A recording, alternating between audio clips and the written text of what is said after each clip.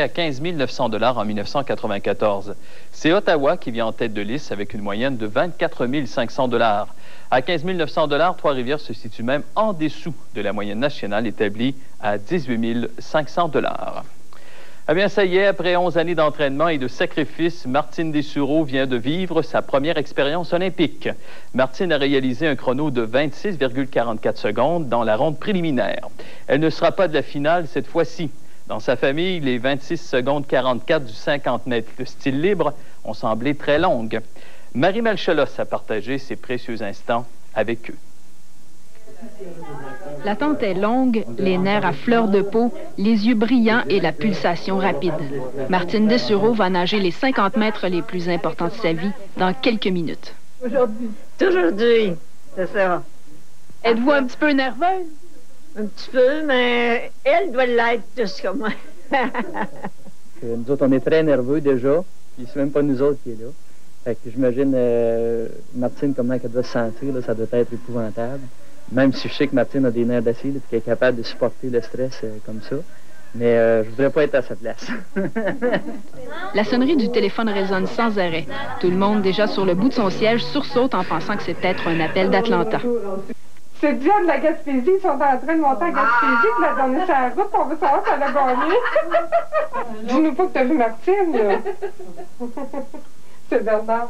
Non, on a fait... Enfin, on annonce les 50 mètres style libre les mots sont devenus superflus.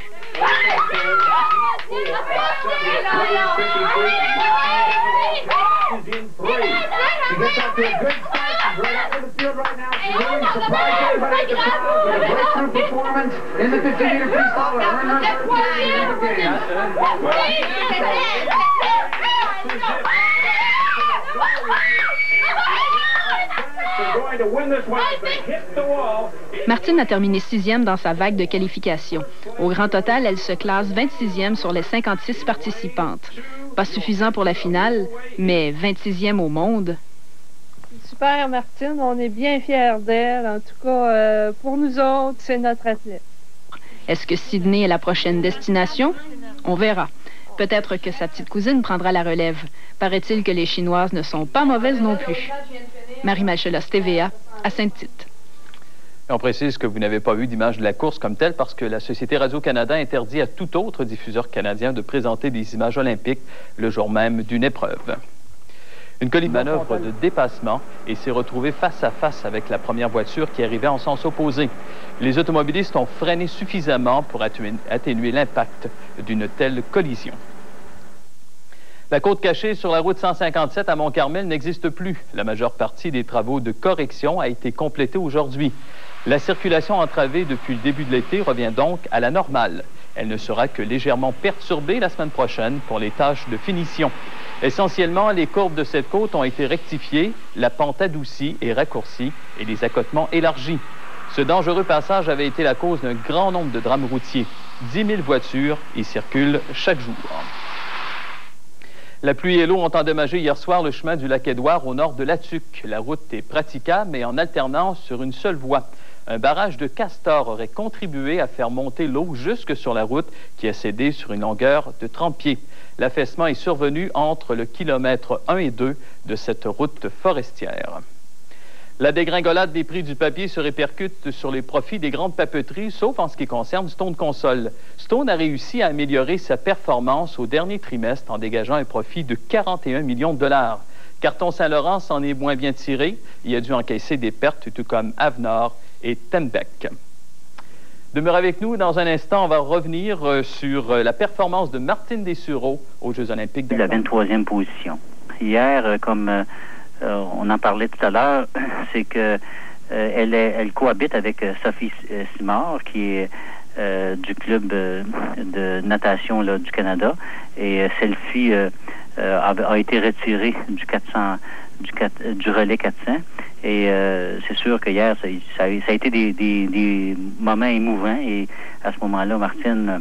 Sur des ordinateurs et en bougeant, ils réussissent à créer de la musique Et euh, cette musique-là bien est enregistrée et on finit par composer, si vous voulez bien utiliser l'expression, euh, composer un opéra. Alors ça permet aux gens de faire des créations musicales avec toutes sortes de bruits et d'instruments sans avoir euh, la tâche ardue d'apprendre la musique.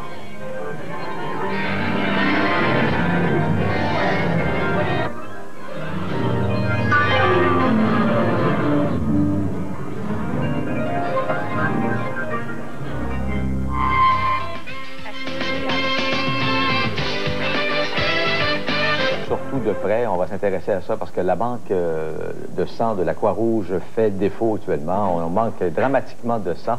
On dit que dans l'Est du Québec, on peut à peine... Puissant, j'y crois. Un geste d'amour qui sera apprécié.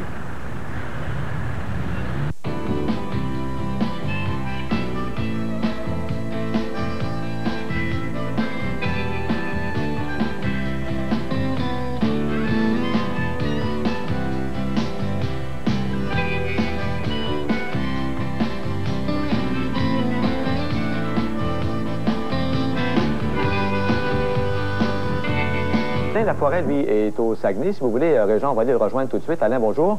Bonjour, Jacques. Alors, euh, là-bas, le Saguenay, euh, donc région extrêmement éprouvée, euh, évidemment, la Croix-Rouge a commencé la distribution de ces dons-là en différents points. Qui a Oui, droit ça- à ces, à ces dons-là? Oui, et ça, ça amène un peu de, de baume sur la plaie parce que vous savez, au cours des trois prochains jours, on s'attend qu'il y ait 2000 personnes sur les 7900 personnes inscrites sur les listes de la Croix-Rouge qui vont défiler ici à Chicoutimi, à Jonquière-Laterrière et depuis 10h30 ce matin, il y a un bureau à Ville-de-la-Baie.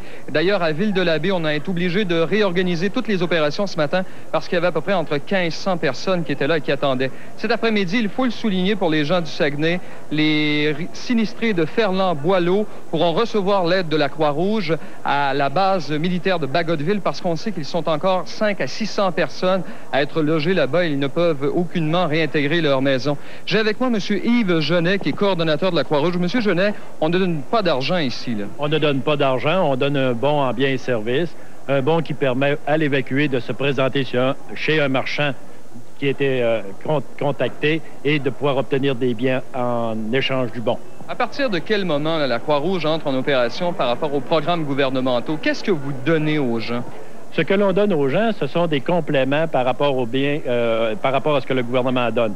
On donne exemple de l'habillement. On dit aux gens, est-ce que vous avez tout perdu? On pose des questions. Oui, j'ai tout perdu. Donc, on peut vous donner un montant, un, un- un bon d'achat d'une valeur de 120 dollars par personne. C'est pas énorme, mais des fois, ça fait, ça, ça, ça pense les plaies un peu.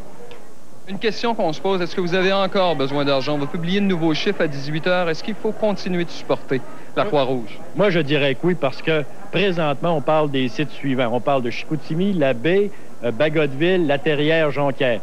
On va avoir les sites de Kenogami, Chipcha, euh, Anse-Saint-Jean, Petit-Saguenay, euh, Larouche, Héberville, Forestville, Clermont, les autres. Il y a beaucoup de besoins. Donc, on a besoin encore d'argent. Effectivement, effectivement. Merci, M. Genet. Il faut dire, Jacques, oui. Oui, Alain, faut dire- il y a un petit détail. Il Oui. faut bien préciser là, que ce que les gens reçoivent en don de la Croix-Rouge, ça ne coupe en rien ce à quoi ils ont droit en vertu des programmes gouvernementaux. Non, absolument pas. Il faut spécifier que lorsque les programmes gouvernementaux vont dédommager pour la maison, les assurances vont payer les véhicules, mais vous savez, imaginez-vous chez vous, Jacques, vous avez une inondation, vous avez un congélateur qui est rempli d'aliments, vous arrivez chez vous, ce n'est pas l'assurance, ce n'est pas le gouvernement qui va vous aider Voilà. pour rembourser ça. Alors c'est là que la Croix-Rouge entre en action. Et il est évident, et je parlais des résidents hier, qu'on ne pourra pas tout récupérer, mais au moins, on sera capable de manger là, pour les prochaines semaines. Et d'ailleurs, vous savez, les gens étaient très, très touchés par l'aide apportée par l'ensemble des Québécois. 3 millions de dollars, c'est beaucoup. Ouais, il faut ouais. en donner encore. Alors, je vous propose d'écouter quelques réactions de ces sinistrés. Mais là, dans le moment, là, ça commence. Là, euh, ça a l'air plein de volonté. Plein de bonne volonté. Qu'est-ce que vous pensez du mouvement de solidarité qu'il y a eu au Québec, là, que les gens ont donné tant d'argent pour venir en aide? Tout ça est formidable. On a tellement, là, on a, euh, on a de la pluie, on a tout ce qu'il nous faut. J'ai aucun mot à dire. Qu'est-ce que vous pensez du 3 millions que les Québécois ont donné pour venir en aide aux sinistrés? C'est des... Il n'y a pas de mots pour les décrire, comment que c'est généreux, c'est quasiment des anges. Alors, un, faut- beau, un beau geste de solidarité de la part des Québécois, mais je pense que les gens là-bas n'ont pas à avoir honte d'aller chercher ces dons-là. Ils y ont droit, c'est la moindre des choses. Je pense que les Québécois ont fait preuve d'un geste de solidarité absolument incroyable. Et des dons qui sont venus d'ailleurs de l'extérieur du Québec euh, également. J'ai vu à un moment donné dans un journal qu'il y a même le gouvernement américain qui a donné 25 000 Oui. en dollars Oui. américains. Oui, et il faut dire, Jacques, là, moi, je suis arrivé mercredi dernier et on voit des images à la télévision, mais lorsqu'on est sur place, Mhm. je dois vous dire que les gens du Saguenay ont besoin de l'appui parce que c'est un moment très difficile qu'ils traversent. On les connaît, ils sont forts, ce sont des gens qui ont du caractère, mais je vous dis, ils ont besoin de votre aide. Et en terminant très rapidement, je vous dis qu'en 2h30, hier, la Croix-Rouge a remis 82 000 et est venu en aide à 244 familles et ça va se poursuivre comme ça tant qu'on en aura besoin. Bon, ben bravo, et on est de tout cœur avec eux, hein? Oui. Merci, Alain. Au revoir. À plus tard. Moi, c'est vraiment ce qu'on ce qu'on ressent. Comme je vous dis, peu importe l'endroit où on se déplace, les gens disent si vous leur reparlez à nouveau, dites-leur qu'on est là. Ah, c'est ouais, ouais, ouais, ouais. Et on parle bien sûr de reconstruction, euh, là où on pourra reconstruire, Jacques, parce que vous savez qu'il y a des quartiers en- euh, complets qu'on doit relocaliser. Je pense à notamment à Ville-de-l'Abbé où le secteur commercial là, s'est rasé. Il n'y a même plus de terrain pour le faire, des fermes. euh, alors donc, il y a des endroits quand même où on a commencé à reconstruire. Oui, bien écoutez, euh, il y a le secteur de la baie auquel vous faites allusion, évidemment. Euh, les gens là-bas ont commencé à réintégrer en fin de semaine euh, leur logis, comme je le disais au début, ou du moins ce qui en reste. Euh, par ailleurs, dans la région de Chicoutimi, il y a un quartier de la ville de Chicoutimi qui Mhm. s'appelle le quartier du Bassin. Euh, là, il y a eu des dommages extrêmement lourds. On a vu des images qu'on reverra d'ailleurs dans le reportage qui va suivre avec Jean-François Tremblay. Mais là, la ville de Chicoutimi euh, va décider d'ici deux semaines si oui ou non on va reconstruire et si on va reconstruire sur le même site.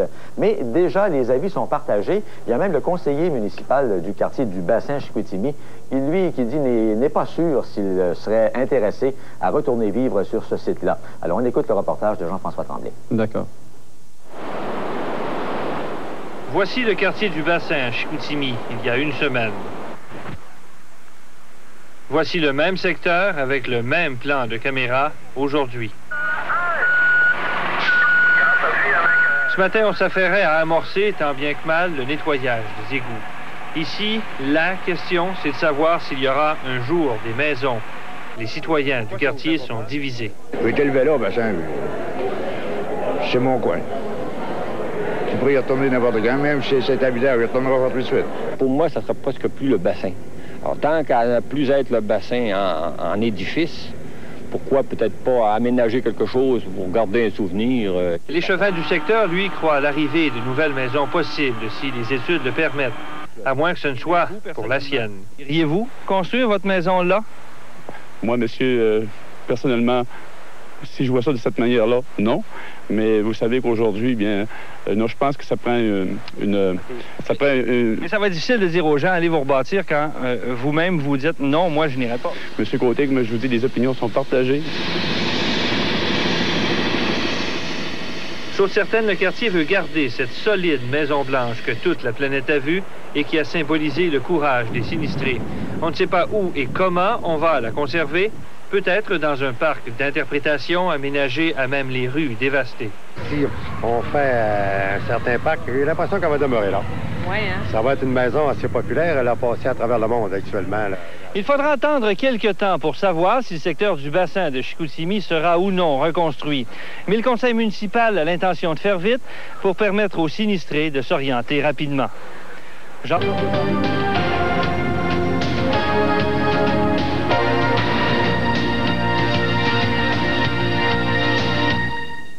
Bien sûr, ce sont des images d'Atlanta. On va vous en parler dans quelques instants. Mais je veux aussi vous dire, je pense que vous le compreniez, que la semaine dernière, on ne pouvait prendre d'appel. Il y avait tellement de témoignages à les recueillir là. Les gens aussi voulaient s'exprimer au Saguenay. Ils ne voulaient pas qu'on les laisse seuls. Aujourd'hui, votre ami Régent, va vous demander justement euh, ce que vous avez fait pour les sinistrés, peu importe de quelle région. Je me suis aperçu dans les journaux en fin de semaine qu'il y a des centaines d'initiatives qui ont été prises. Vous avez une petite chance de nous appeler tantôt en cours d'émission. On va prendre des appels euh, avant qu'on reçoive en entrevue de fond le directeur du SPCUM, M. Jacques Duchesneau. Mais vous, ce que vous avez fait, vous voyez le numéro apparaître au bas de l'écran. On va faire ça en rafale aujourd'hui parce que je veux vous sentir dans le coup aussi. Je trouve ça tellement beau tout ce qui s'est déployé au cours des derniers jours. Dans quelques instants, donc en rafale, mais pour le moment, Atlanta, notre collègue Richard Latendresse nous attend là-bas au bout du fil. Euh, Richard Latendresse, ce n'est pas ses premiers jeux, je le soulignais la semaine dernière, on, en parlera à la fin de son intervention. Parce que Richard, là vraiment, avec ce qui s'est produit en fin de semaine, la sécurité là-bas, elle a atteint des cotes inégalées. Impressionnante, euh, Régent, cette sécurité. euh, on en rencontre partout des policiers, des agents de la garde nationale, des agents de, du FBI ou d'au- ou d'autres euh, secteurs de l'administration américaine, des militaires. Euh, il y en a partout et net, surtout, là, il y a une concentration dans le centre que j'appellerais olympique de la ville, où tout devait se passer, euh, à, à la fois les épreuves, mais aussi les activités de divertissement et tout. Euh, c'est dans ce sens-là que l'esprit n'est plus le même. Cette présence policière des forces de l'ordre un peu partout fait en sorte que c'est un peu plus gênant de, de se laisser aller, si je peux me permettre l'expression. Oui, mais par contre, je vous voyais tantôt en reportage, les gens acceptent très bien ça. On fouille les, les- les- les- vraiment même sous le capot des voitures et les gens sont tout à fait d'accord avec ça, Richard. Les gens s'y soumettent volontairement, euh, Régent, parce que cette bombe-là, et puis à, à parler à différentes personnes un peu partout, c'est drôle comment les gens le craignaient. Ils s'y attendaient d'une certaine manière, parce qu'il y avait comme une, force, une sorte de fond de menace dans l'air, euh, notamment à la suite, bon, naturellement d'Oklahoma City, euh, le- le- le- du vol TWA, les gens y pensent de plus en plus, et les pistes vont dans ce sens-là, euh, pensent de plus en plus à l'attentat. Ce qui fait que c'était dans, dans l'air. Euh, là, maintenant que, que ça s'est produit, les gens se disent, il faut pas que, que ces terroristes-là, à la fois brisent les jeux, mais non plus brisent notre volonté de, de lutter contre, euh, contre ces forces-là euh, qui semblent incontrôlables. Alors, tout le monde s'y soumet volontairement. On voit les gens même qui collaborent avec la police, Mais oui. qui pointent vers euh, euh, soit des, des, des, euh, des paquets les moindrement suspects. C'est parfaitement impossible dans le centre d'Atlanta maintenant de déposer son sac par terre et de s'éloigner plus de, de, de, de 5 mètres sans se faire arrêter et se, faire demander si c'est bien. Ben, D'ailleurs, vous disiez tantôt que nous sommes, on- non seulement collabore de cette façon-là, mais étroitement avec l'enquête policière aussi, des centaines d'informations. là. Exactement. Les gens appellent. euh, Bon, euh, vous savez que on- les- aux États-Unis et, et- et en fait chez nous aussi, c'est un peu pareil. On est friand des vidéocaméras. Chacun a son appareil photo aussi. Alors, il y a eu euh, beaucoup d'images prises de différents angles de ce qui s'est passé. Chacun, chaque individu qui a le moindre petit indice n'hésite pas à appeler et à le donner à la police. Ce qui fait que, d'une certaine manière, euh, les policiers ont pu étayer leur, euh, leur enquête, mais de l'autre côté, paraît-il qu'il y a quand même 90 de de ces informations-là qui sont euh, moins importantes. Mais même si les gens, Richard, disent qu'ils veulent pas que ça tue l'esprit olympique, il y a quand même cette crainte-là. Vous dites, oui, on l'appréhendait d'une certaine mesure, mais en même temps, les, les gens doivent craindre quand même ce qui s'est produit. Oui, c'est ça. Et puis, les gens changent complètement leur, leur façon de voir les jeux. Naturellement, ils vont assister euh, aux événements, mais je n'ai pas rencontré une personne qui ne m'a pas dit, bien que tout le monde compte euh, faire partie de la fête, je n'ai pas rencontré une personne qui n'a pas revu ses plans. Euh, soit les gens sortent moins tard, soit ils évitent d'être au cœur d'une grande foule dans une sorte de situation où il serait impossible de, de- de sortir en vitesse. Euh, les gens y sont. Je ne sais pas dans quelle mesure ils vont appliquer ça. Euh, Chacun a- a- prend sa décision, mais on sent que ça fait maintenant partie des préoccupations et c'est plus du tout. euh, ce n'est pas l'ambiance bon enfant qui apparemment euh, euh, devrait, bon, apparemment était là au début des jeux et devrait être là comme je l'ai connu à Lillehammer ou encore à Barcelone. Ben, c'est ce que j'allais vous demander, mon cher ami. Vous y étiez. Vous voyez donc vraiment toute cette différence-là, là, actuellement. Ah, c'est frappant, hein, Régent. C'est d'autant plus que moi, j'avais bien suivi la situation pour Barcelone parce qu'il y avait des terroristes basques. Les Basques euh, se trouvent dans une région de l'Espagne et euh, un certain groupe d'entre eux se battent pour leur indépendance de façon très violente en faisant euh, plusieurs attentats depuis des années et euh, des attentats extrêmement violents. Alors, pendant les Jeux de Barcelone, on craignait constamment un attentat des Basques. Eh bien, ça s'est jamais produit. C'était dans l'air, mais ça n'avait jamais atteint euh, le niveau de psychose qu'on connaît, qu'on en- qu'on rencontre ici. Euh, C'est étonnant de voir à quel point cet, cet événement-là a pu transformer la ville véritablement en forteresse. Il y a un état de siège et de tension que je n'avais jamais vu à Barcelone. Et pourtant, Barcelone était euh, au, au cœur d'un pays, en tout cas, qui était bouleversé. Ben, Richard, merci beaucoup. Vous restez sur place. Au revoir, Richard Latendresse. Au revoir. Donc, journaliste à TVA qui est maintenant sur place à Atlanta. Et il y a eu aussi ce témoignage absolument bouleversant en fin de semaine de Marc Lemay, originaire de l'Abitibi. Euh, il était, lui, à Atlanta lorsque l'explosion s'est produite au parc du Centenaire. Nous le retrouvons ce midi. Marc Lemay, bonjour. Bonjour. Est-ce que ça va mieux de votre côté? C'était vraiment euh, affolant de vous entendre. Vous avez vécu ça de très près, cette explosion-là, Marc. Ben écoutez, euh, c'est encore extrêmement dur. Je viens de... L'Association olympique canadienne a insisté parce que ce midi, c'est euh, à 13 heures, on va recevoir euh, tous ceux qui ont gagné des médailles. Et comme en cyclisme, on en a déjà trois. Mais oui. Ils, vont- ils nous ont demandé d'être présents. Je vous avoue très sincèrement que je voulais absolument pas sortir de mon hôtel. Euh, là, je suis au cœur de la ville. Je suis vraiment là au centre-ville. Suis- J'écoutais le monsieur qui vient de parler, là. C'est exactement ça que je sens. Euh, je me tiens pas près de la foule, j'en ai trop peur. Je- J'ai sorti du, euh, du magasin où j'étais pour aller acheter un souvenir ou deux pour vous parler. Puis là, ben, je me promène comme un débile mental en tournant en rond, là. Mais euh, je regarde ça. Puis c'est vrai, c'est absolument exa. On la sent, cette... moi, en tout cas, personnellement, je la sens. Je, j'ai allé, je allé exorciser mes démons, là. Je suis descendu. Je voulais vraiment pas aller au Centennial Park. Je suis passé devant. Regarde, ça fait leur beau. Ah, définitivement. Puis aussi, en plus, Marc, de t'attacher au cyclisme, le vélo de montagne demain, là, c'est vraiment, ça rentre au programme olympique. Puis à vous entendre, il n'y a pas grand monde qu'il faudra aller chercher une médaille autant que possible, mais le cœur à la fête, là, il n'est pas là nécessairement, Marc. Mais, mais ce qu'on essaie, c'est d'éviter d'en parler aux athlètes. Moi, j'ai pas voulu, j'ai absolument pas voulu en parler à aucun des athlètes. Il y a des athlètes qui du Canada qui sont venus me voir en cycliste. Mark, uh, what are you doing? Now? Are you okay? Oui. Yes, man, it's- the show must go on. Et let's go, faut que tu gagnes ta médaille. Et c'est ce que j'ai dit à Arnett, c'est ce que j'ai dit à Walton. Puis bon, ben, il faut, il faut absolument qu'on passe au travers de ça. Et demain, effectivement, c'est mon bébé qui vient au monde. Moi, je pensais que je vivrais quelque chose d'extraordinaire. L'entrée d'une nouvelle discipline olympique. On a travaillé comme des fous pendant quatre ans pour rentrer ça là. Je vous avoue que j'ai pas beaucoup le cœur à la fête. Ça va me faire plaisir. C'est sûr que je vais sûrement être très émo- émotionné par le par euh, cet événement-là. Le vélo de montagne qui rentre aux Jeux olympiques, ça s'est jamais vu. Ça va. On rentre là et je vous assure d'une chose. Le 31, je- l'épreuve a lieu demain le 30. Et le 31, moi, je prends le premier avion pour rentrer, hein, je vous assure. Même si j'aurais voulu voir la route où on va avoir les meilleurs coureurs cyclistes au monde, ou le contre-la-montre, euh, je suis pas capable. Je, je rentre, euh, ça donne rien. Euh, je vous comprends si vous étiez sur place lors de l'attentat. Merci beaucoup, Marc. Bonne chance et bonne chance aussi à l'équipe. Merci beaucoup. Au revoir, monsieur. Donc, Marc Lemay, le président de la commission de vélo de montagne. Demain, journée cruciale, justement, pour cette discipline qui fait son entrée aux Olympiques.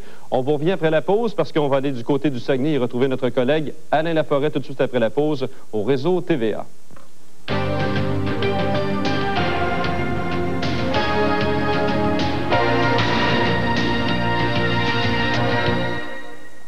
Des images